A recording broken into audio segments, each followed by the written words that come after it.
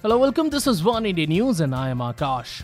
Former Pakistan pacer Waqar Younis learned that openly expressing his views on social media can backfire spectacularly irrespective of the crux of the message. Waqar had suggested that the ongoing Women's World Cup 2017 should be a 30 over affairs rather than the conventional ODI format, as in his view, 50 overs is too much for women cricketers.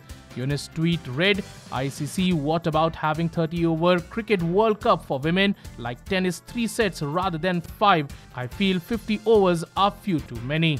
Waqar used the example of the tennis where women play a 3 set match as compared to the men's 5 set matches.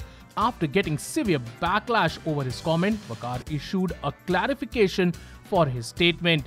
Waqar posted, lesser over means faster pace, more audience, competitive cricket, no discrimination or prejudice towards women cricketers. Now, Sri Lankan women cricketer Sripali Weerakkody claimed that their premier batswoman Chamari Atapattu, who scored 178 against Australian women's team, can smash him for a six any day of the week.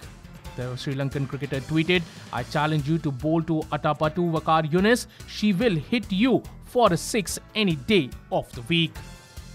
But that's all for now. But for more news and updates, log on to oneindia.com and please don't forget to like and share this video. Also, don't forget to subscribe to One India News YouTube channel.